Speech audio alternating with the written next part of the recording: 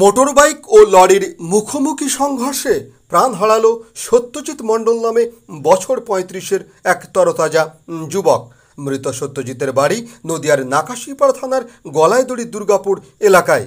পরিবার ও পুলিশ সূত্রের খবর, শনিবার সকালে মোটরবাইক চেপে পলাশিপাড়া দিদির বাড়ি যাওয়ার উদ্দেশ্যে বাড়ি থেকে বের হয় সে।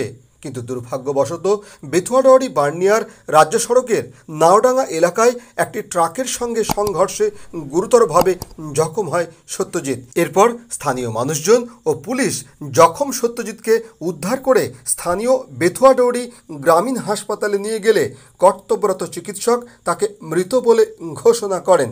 প্রসঙ্গত উল্লেখ্য যে, ঘাতক ট্রাকটিকে আটক করেছে নাকাশিপাড়া থানার পুলিশ। আপনারা দেখছেন খবরের দর্পণ ইউটিউব চ্যানেল। সত্যজিৎ মণ্ডল যাচ্ছিল বোনকে আনতে না ভাঙার পরে একটা অ্যাক্সিডেন্ট হয়ে গত আজকে কিসের সাথে যাচ্ছে? লরির সাথে। সকালবেলা পাঁচটা নাগাদ মারা গেল। এ সত্যজিৎ মণ্ডলের হেলমেট ছিল মাথায়? হেলমেট ছিল। হেলমেট ছিল এখনও হেলমেট ওখানে আছে। দাঁড়িয়ে আছে পুলিশ ওখানে দাঁড়িয়ে আছে। আমি এখানে গিয়েছিলাম। এখন ওখানে থেকে হসপিটালে পাঠিয়েছে। হসপিটালে দেখা যাক ডাক্তারবাবুরা কী করে। আপনার নাম? সুকান্ত মণ্ডল। কে হয় আপনার? আমার কাকাতে ভাই আপন কাকাতে ভাই।